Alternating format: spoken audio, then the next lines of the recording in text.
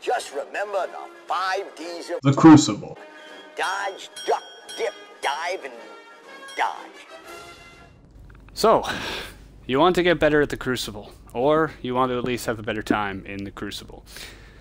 However way you spin it, that is the context of today's video. Welcome back everyone to another Embrace Destiny video. Thank you very much for clicking that link and joining us. Been a while. But uh, finally settled some work things and I'm back to making videos for you. So today's video is all about the Crucible, specifically working on some fundamentals, some basics that I think could be really helpful for most players. If you're anything like me and my clan, uh, we actually spend most of our time outside the Crucible. Uh, strikes and just general PvE activities, and I find that playing those activities can really mess with your perspective when you jump into the Crucible. Destiny's PvP has a lot of very specific hidden uh, rules and strategies that uh, really need to be aware of if you're going to be successful. So for today's run, I'm just running with some standard run-of-the-mill weapons. I'm running with uh, an SMG from year one, a bow, and a grenade launcher. Control. The key here is not to show you how you can do well if you have the best RNG or the best weapons, the best rolls or perks. It's how you can improve your gameplay through simple fundamentals. No zones means no victory. So when you play in PvE, I find that most players, uh, they play in a similar manner. You have basically two modes of movement in PvE. Essentially static, or uh, let's just call it heroic. So by heroic, I mean, as a Titan, I'm running in there, you know, fist first, I'm jumping high into the air, hunters are launching their, uh, their shadow shots. Oh, I missed. That's too bad. You know, everybody's jumping, everybody's jumping high into the air and, uh, basically exposing themselves to the enemy when they really, really shouldn't be, of course you out of here. But when you get into the Crucible, you can't really do that. If you jump high into the air like this all the time, the enemy knows where you're going to be. Due to physics, they know exactly how long you're going to be in the air. Um, and you find yourself you find yourself in danger a lot. Humans have a better aim, better shot, uh, and they can they can confuse you through excellent movement. So that's what we're going to work on. Another thing to remember is that Guardians are all the same height, so if you walk around a corner or run around a corner like this, you're pretty much just asking to get sniped or, or shot in the head. Because an enemy can just look down that lane, focus their weapon, as soon as they see any indication you're there, they fire, they hit you in the head. So remember that, all Guardians are the same height. Approach corners unpredictably. Come in vertically, slide in. Oh, hold on, somebody to my immediate right.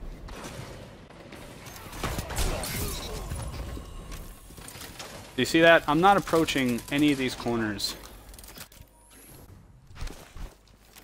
Any sense of predictability. I don't want the enemy to know where I'm going to be. And you have to remember at all times that no matter what the meta is, the meta is going to come and go, and you may see some weapons a lot more common, a lot more popular, uh, pulse rifles or shotguns or whatever. Remember that snipers exist, and people who snipe are generally really good with them. so they're not going to miss unless you make it uh, more challenging for them to hit you. So even though I'm not, uh, even though just here, I'm not really, you know, I'm not really going anywhere, I'm not coming around the corner like this, I'm still sliding, I'm still moving unpredictably. Why? One, it's just good practice. And two, there's a possibility the enemy is around. Um, maybe they have a good angle on you. I don't know. The fact is, is that you just need to make yourself harder to hit. So let's capture this control point, and then we'll use our super, and we'll talk about it a little more. Okay, enemies coming in here. They're going to be coming from point A. Uh, there's one here. I don't need to bother with him. It's only one person. I'm going to get attacked from both sides here. That's fine. I don't want to spawn camp.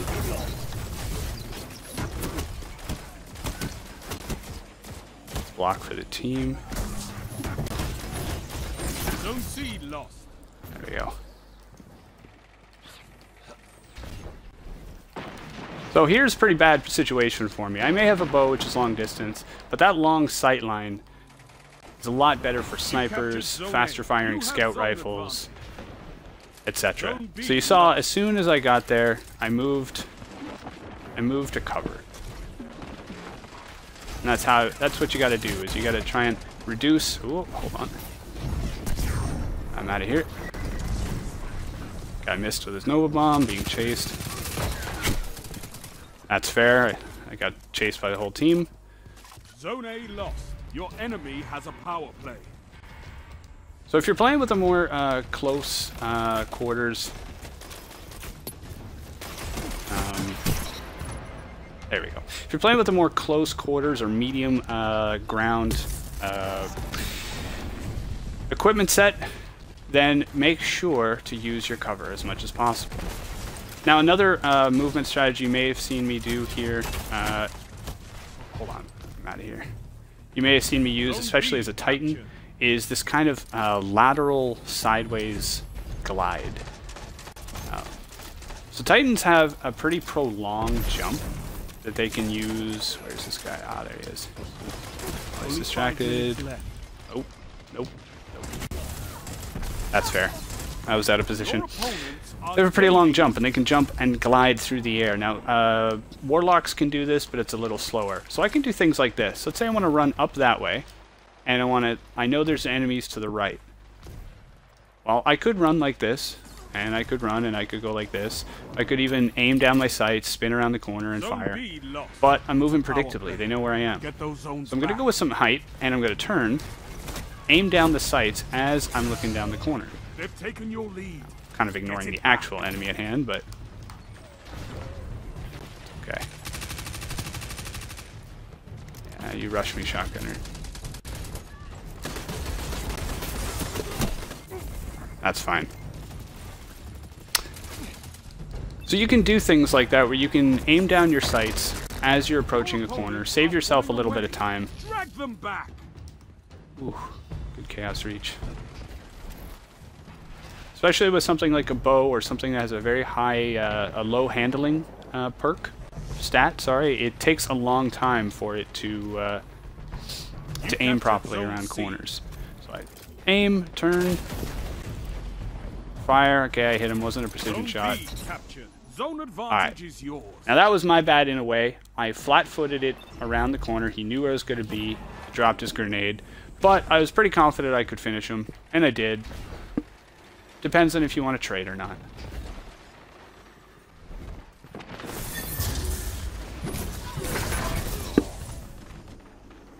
Couldn't save my teammate. Let's save the point. Fight for vengeance. Now I saw that the shotgunner was going to be there. For one. So I jumped into the air to avoid him just taking me out. Because a shotgunner, shotgun can take you out of your super. It does happen.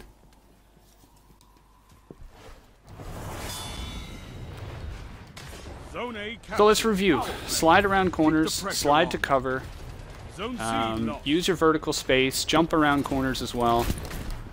Oh god. Well, let's just get out of that. That was bad. Oh, I thought they were going to come around here. It's fine. Now look at that. Now, he killed me there because I was just illustrating a point, but most players think two-dimensionally in this game. And if you can use your height, if you can slide under them, slide past them, you'll confuse the heck out of them. Let's play a life where we don't... Oh, hold on. Where all we do is we dodge. We run. Okay, let's play a second life, because, you know. Zone C captured. Once you've uh, once you've fought with an enemy, um, once you engage with an enemy, they know where you are, and they pretty much know where you're going to go. They might see you on the radar. They can see little bits. So the next thing you can do is if you need to disengage from a fight, you got to move unpredictably. Watch some players who play this game on the on the PC. They move in amazingly unpredictable ways. Un- oh yeah, I heard him Opponents have built charging his thunder crash, but So rather than moving like this, This time. alright, better time on this match. And that's fine. Hopefully, this gives you a bit of guidance. Um, I'm gonna quickly jump out of here and load up a that you can win. private match, Fight just so that I can give you an uninterrupted control uh, environment where I show you what I mean. So we've recapped all the specific uh, yet separate skills, going around corners and, and, and viewing corners, such like that. Will this work? Sure, why not? Sliding, very effective. It closes the gaps with the with the enemy. It's great if you're using a shotgun. Um, other thing to be aware of is uh, you will disappear off the radar momentarily if you are crouched. The radar will blink, which can uh, cause you to dis- distract an enemy or confuse them as to your exact location. The other thing is that the radar is actually slightly color coded. So if you are on the same vertical level as, as an opponent, they will show up as a dark red or a darker color on your minimap radar.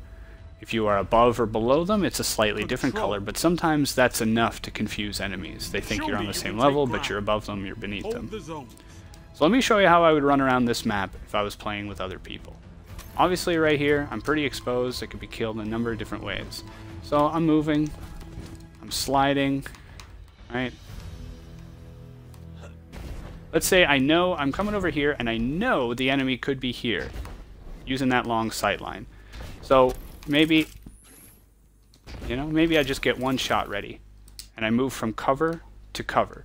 Maybe I just want to screw with them and then get out of there. So I do one of these. Alright?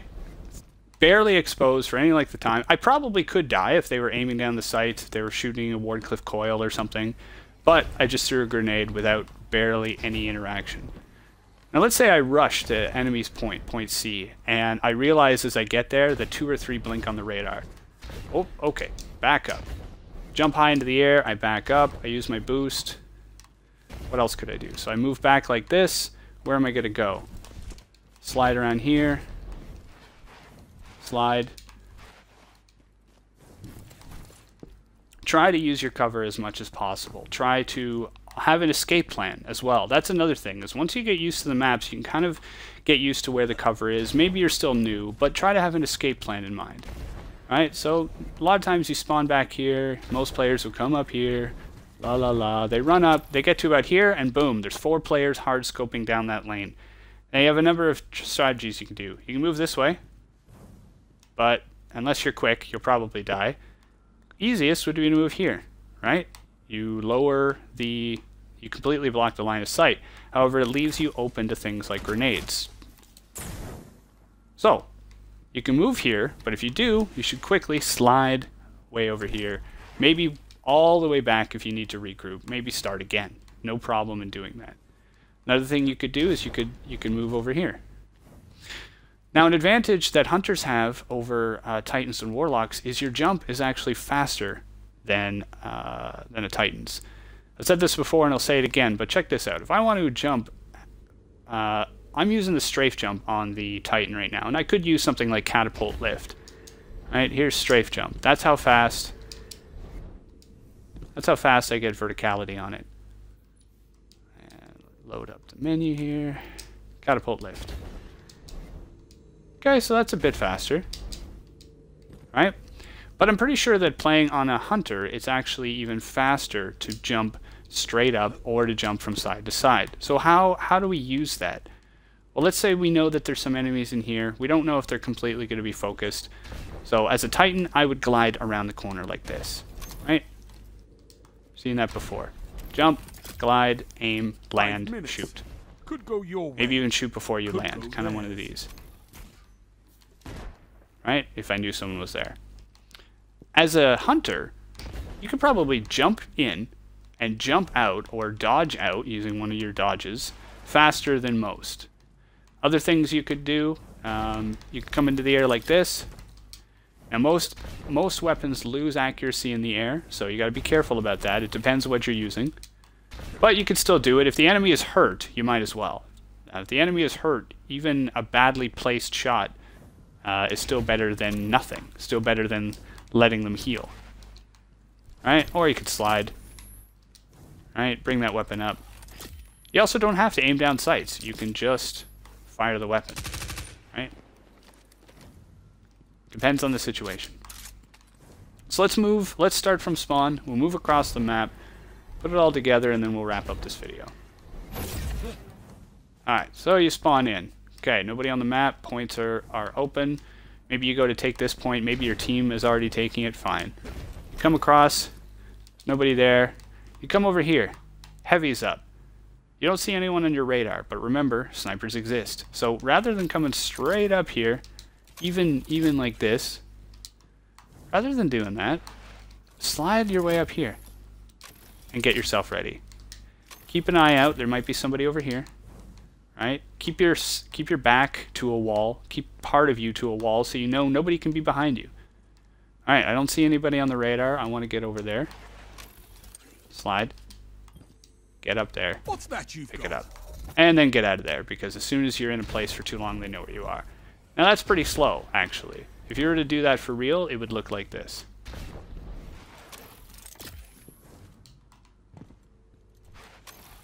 Three minutes. It's close.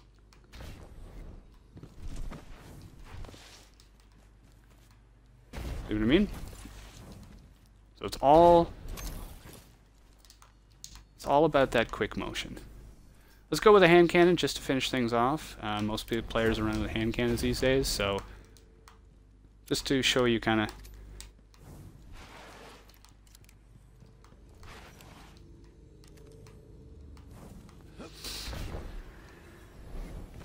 Let's start from the other spawn and do the same thing and then wrap this up.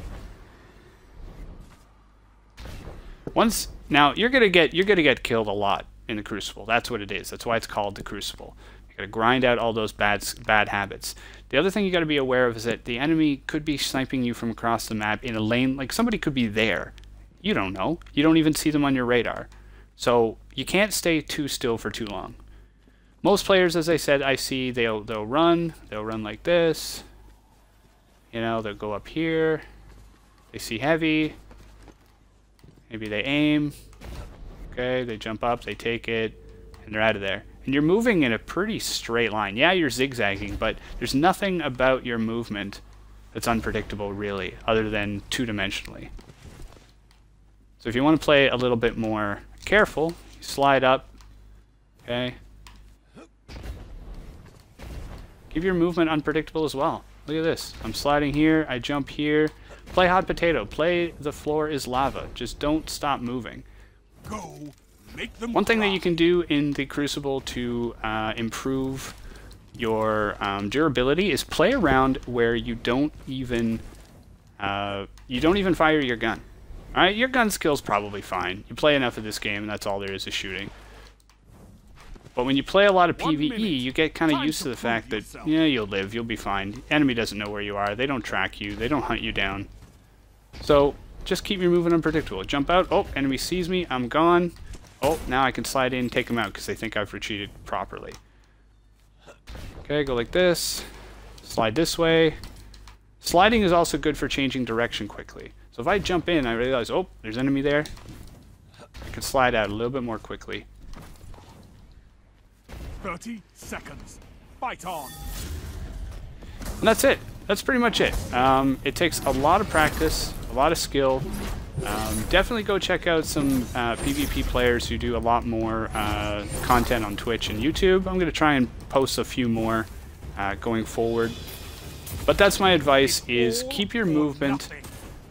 It's hard to control when you're not used to it, but when you get more comfortable with it, you become a terrifying specter of a nightmare, flying throughout the map, Good. not a- no one's able to track you. You're only able to be take down through team damage, uh, supers, such like that. I hope this video helped. Feel free to drop some advice down below. Uh, if you have any comments or anything like that, obviously look forward to reading them. And uh, yeah, hopefully good luck out there with all of your Crucible quests, and we'll see you in the next video. Bye now.